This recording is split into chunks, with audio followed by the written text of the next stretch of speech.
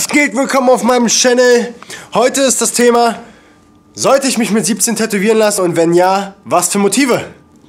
Leute, es ist ganz wichtig, wenn ihr euch mit 17 tätowieren lässt, dass ihr darauf achtet, was ihr euch tätowiert. Es ist wirklich mega wichtig.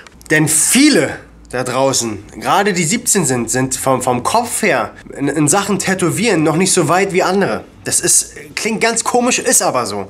Viele 17-Jährige kommen hier rein und wollen Motive, die jeder Zweite da draußen schon hat. Weil sich jeder mit 17 tätowieren lassen hat. Wir reden hier von Endlosschleifen, wir reden von irgendwelchen kleinen Tribals-Motive, ähm, also ein Tribal-Motiv. Wir reden von Federn, wo dann Vögel rauskommen. Wir reden von einem Spruch, den jeder Dritte hat. Wir reden von einem Wort, was jeder Zweite hat. Und ganz besonders mit 17, was auch viele machen. Oh, scheiße, stehe im Schatten. Was viele auch mit 17 machen, ist ähm, sich den Freund oder die Freundin tätowieren. Das ist ein absolutes No-Go und wird bei uns nicht tätowiert. Wenn, dann nur über, also im Zusammenhang mit äh, Mutter, Vater, Oma, Opa. Sowas machen wir aber eigentlich wirst du bei uns vollkommen von A bis Z beraten, wenn du 17 bist, was wirklich ein gutes Motiv für dich selber ist oder eine gute Idee, die wir mit dir zusammen umsetzen, damit du es nicht bereust. Denn, warte mal, ich mache erstmal, vor allem wie ich schon gerade rede, ne? ich mache erstmal Licht. Denn jeder 17-Jährige hat das Problem, das ist wirklich so, es ist ganz wenige, also bei uns kann ich euch sagen, sie werden sehr gut äh, beraten. Wir haben früher das auch noch nicht perfekt beherrscht, weil man halt jeden Menschen auch den Wunsch erfüllen möchte, tätowiert zu sein. Aber mittlerweile beraten wir die 17-Jährigen so, mit Mutti-Zettel natürlich, also Mutti und, also Elternzettel halt, Vater und Mutter muss, müssen beide einverstanden sein. Irgendwie, wenn du jetzt nur von der Mutter ähm, Zettel dabei hast, also Mutti-Zettel, dann funktioniert das nicht.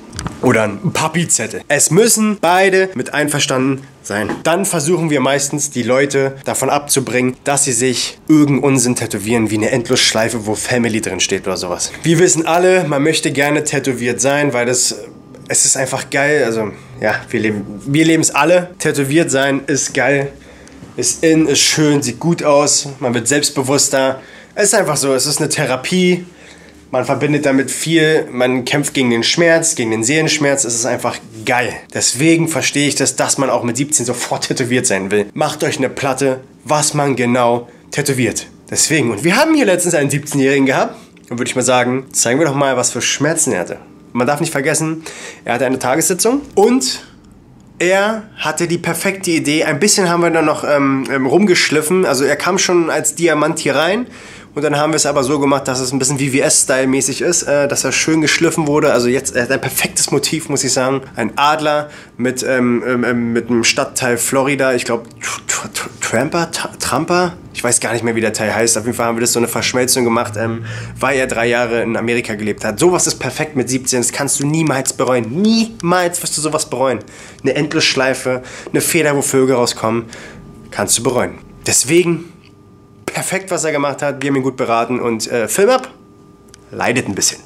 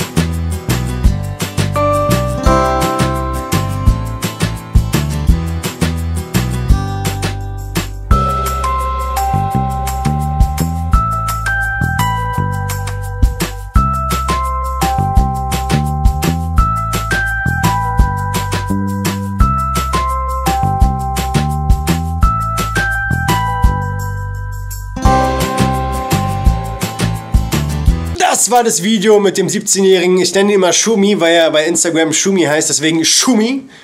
Wir sehen uns. Haut da rein alle. Bis deine Antenne. Das war's mit dem Video. Bis zum nächsten Mal. Ich stehe schon wieder im Schatten. Scheiße. Ciao.